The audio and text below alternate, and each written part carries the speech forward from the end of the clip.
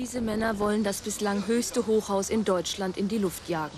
Schon dreimal musste die Sprengung verschoben werden. Angeblich war immer noch Asbest im Haus. Die Sanierungsarbeiten zogen sich hin. Nun ist es soweit. In drei Tagen soll dieser Riese an der Reeperbahn vertikal in sich zusammensacken.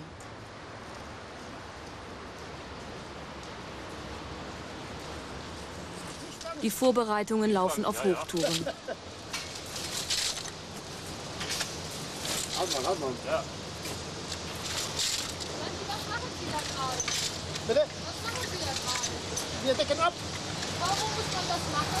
weil Splitter nicht rauskommt. Steinsplitter. In allen Etagen, in denen gesprengt werden soll, werden nun die letzten reißfesten Fließbahnen angebracht. Ali, sind die Zettel schon verteilt? Nein, wir warten Nachmittag, das machen Geschäft wir alles zu. Nachmittag. Ja, Nachmittag. Ja, aber selbstverständlich, Sie sind da, die Zettel. Firmenchef Werner muss die Anwohner informieren.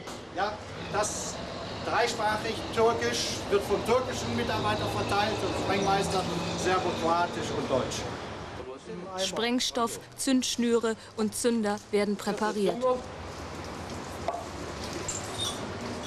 Jetzt, wenn ich jetzt Zünder jetzt hier einführe, so. Jetzt ist die Patrone scharf. Also jetzt kann sie zündet werden. 3000 Löcher mussten gebohrt werden. Schwerstarbeit. Mit nur 180 Kilogramm Sprengstoff soll das Haus zu Fall gebracht werden.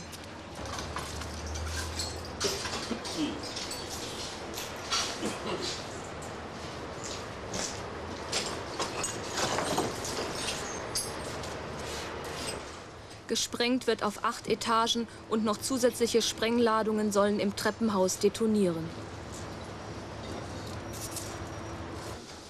Auch die umliegenden Läden auf der Reeperbahn werden über den neuen Sprengtermin informiert. Nicht das erste Mal. Am Sonntag um 13 Uhr soll das Hochhaus gesprengt werden, am Landtorplatz. Nochmal. Ja? Nochmal, ja, das stimmt.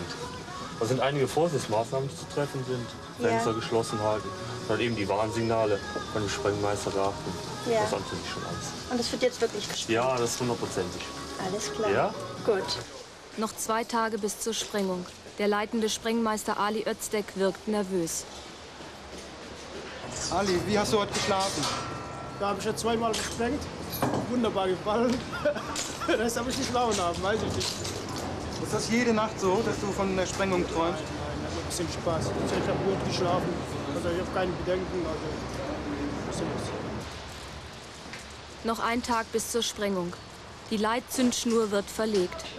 Zum ersten Mal wird in Deutschland ein neues Zündverfahren ausprobiert. Loslassen! Ja, ein bisschen loslassen! Gut.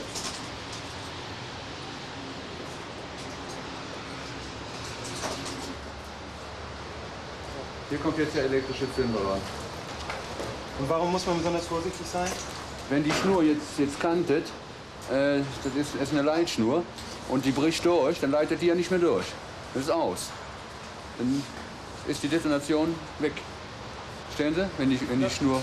Dann Gebäude macht so. Ali, seid ihr in der Zeit? Bitte? Seid ihr in der Zeit? Ja. Anders als bei rein elektrischer Verdrahtung können hier die einzelnen Zünder nicht mehr durchgemessen werden. Nur eine optische Kontrolle ist möglich. Jeder Handgriff muss sitzen. Firmenchef Werner erklärt die Zündfolge.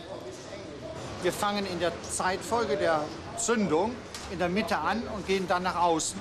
Die Mitte kommt etwa eine Viertelsekunde vor den Außenpfeilern. Dadurch soll ein Absacken, ein Knicken nach innen, wenn auch nur minimal, erreicht werden.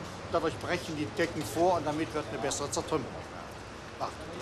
Und Sie meinen, das klappt alles? Ja, sonst hätte ich es nicht angepackt. Den Optimismus muss ich haben. Ich kann jetzt nicht mehr zurück. Der Tag der Sprengung. Ali Özdeck verlegt den Zünddraht aus dem Haus. Im Umkreis von 200 Metern sind alle Straßen gesperrt. Schöne Sache, oder? Die ist doch super. Können Sie uns die Garantie geben, dass da keiner sich mehr im Haus befindet? Ja, der Sprengmeister Prinz ist das Gebäude von oben, vom Dach bis unten durchgegangen. Bitte alle zurücktreten in das Auto gehen. Hedi, Hedi, sind Feuerfeld. 15, 20 Uhr. Firmenchef Werner gibt grünes Licht aus der Einsatzzentrale. Ja, 15, 20 Mittel. Genau. Keine Probleme. Karl-Heinz, hier ist Walter. Karl-Heinz, hier ist Walter. Karl-Heinz, bitte kommen. Bitte mitschneiden. Aktion Barbara kann für 13 Uhr laufen. Bitte bestätigen. Verstanden, Ende. Aktion Barbara läuft 13 Uhr. Ab sofort habt ihr das Kommando. Wir schalten uns nicht mehr ein. Ende. Verstanden, Ende. Ali kurbelt die Zündmaschine auf 1500 Volt hoch. Zweites Signal.